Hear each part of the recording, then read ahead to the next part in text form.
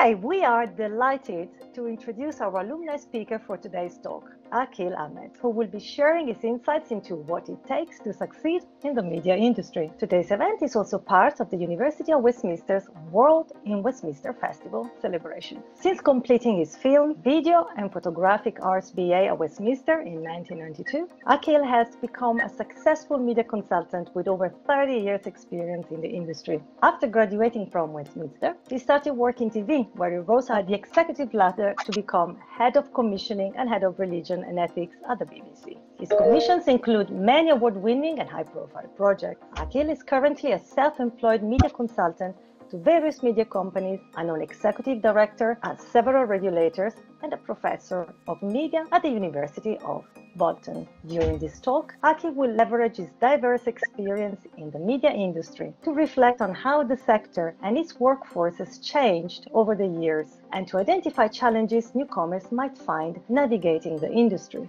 This talk will aim to pass on advice to anyone hoping to take their first steps in the media industry and deliver some clear takeaway messages on how you can succeed and progress in this sector. I graduated from the University of Westminster in 1992. I did a degree in what in those days was called photography, film and video. And I think the nearest course that they have really, I think is contemporary media practice at the university right now. Before all of that, I went to art school originally and I studied to be a graphic designer. And while I was studying graphic design, I discovered a little bit of a love for photography and a bit an early days of video and ended up at Westminster. I graduated and I actually got a job straight away. So I think I'd always been quite commercially orientated. And then I think in my second year at university, I did a work experience but on a Channel 4 production. It was actually via one of the lecturers. I'd made a film about Iraq's invasion of Kuwait. I made about two or three little films. I had a little bit of an obsession with it in the beginning of my second year. And I uh, got to do this work experience. And it was for a couple of weeks. And they kind of like liked me in the office. And so they asked the university if I could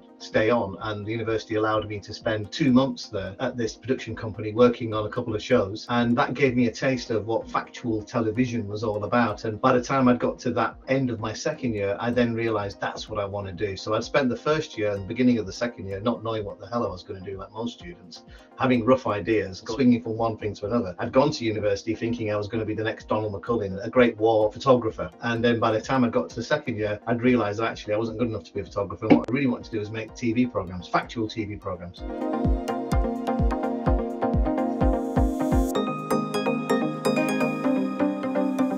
Well, that's interesting. I do communications rather than PR, but it's in a similar world. And I know some PR people, and there are small companies and there are big companies. One, I suppose it depends on what you studied. If I was to say wanting to be a journalist, I should be writing newspaper articles, I should be writing magazine articles, I should be writing intros to the news for TV, for radio, whatever it may be. I want that job, so I need to be able to show people this is what I can do. And with the PR agencies, so I know big and small. So I have to be honest with you, some of the small guys are better because they will probably take you on or give you a bit of a break or whatever. They tend to be one or two or three man bands or woman bands these days. They work from home and they just hire people as and when they need them. And that's in the world of PR and comms. And then there are the big companies. They're only going to take on people who are very experienced. So I would say probably go for the smaller company and say to them that you're willing just to do some work experience for a few weeks uh, at no cost. That's what I would do because my experience of the bigger PR companies from a purely work basis, they tend to go after people who are very experienced, and that experience normally comes from working for smaller agencies or joining on productions. Or most of these big production PR companies, communication companies, often may have a kind of training scheme, but they generally go for people who've done something at Oxford or Cambridge or something like that. It's a very elitist world in that sense, at the high end. It's the more commercial end that I think you need to look at the smaller, more boutique places.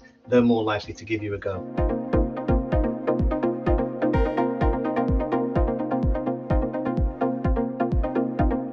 Going to be really hard when you think of like the editorial side. I think it's less hard, or it's actually quite common for people to be working in the more technical side of broadcasting, whether it be digital websites, digital, those kind of things. You find people from India, mainly from India, places like that, working in that particular territory.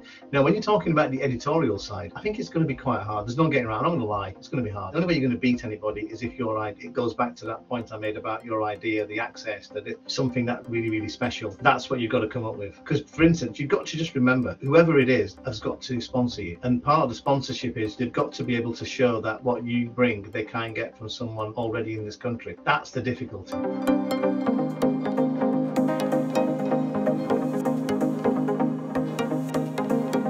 Yeah, I mean, I would always say to people, read Broadcast Magazine. I'm not sponsored by them, but I would say read Broadcast Magazine, keep up to date with it. I also am a member of RT, the Royal Television Society, and I'm a member of BAFTA. BAFTA is very expensive and very hard to get into, so you don't have to worry about that now. But I would recommend all of you join the Royal Television Society. They do have a student package, and it's worth it because you then get access to the sessions that they put on, whether it's digitally or face to face. The Royal Television Society, they have regional offices as well as the national office. It's a place where you can go and listen to people give talks and seminars and they publish things and they're up to date. So I would say broadcast, Royal Television Society, those two are must have. And then the final thing as well, I would say is get onto the Ofcom website, get in touch with Ofcom, read what they're doing because they're doing some fantastic work on audience research, on research around digital poverty and technology and all of those things.